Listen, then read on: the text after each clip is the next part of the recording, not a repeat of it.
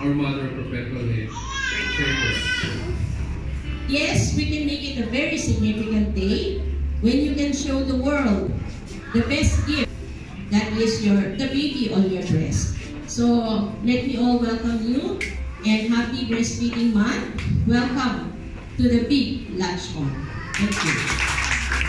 Okay, ang benepisyo ay number 1B, bonding. Pinakamahalaga. Kasi meron ako nakita isang ah, supportive na husband.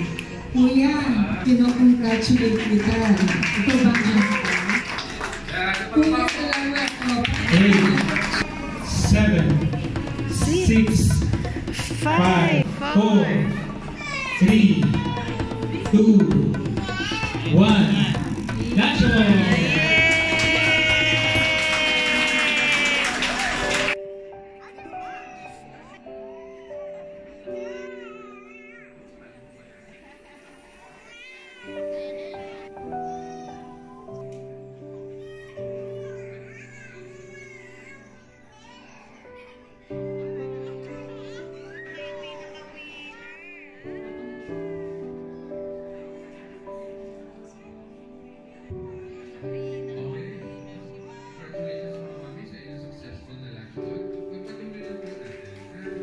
Uh, again, no, dapat malaki-malaki yung mouth, hindi lang po yung nipple yung kukuha, kundi pati yung arlure.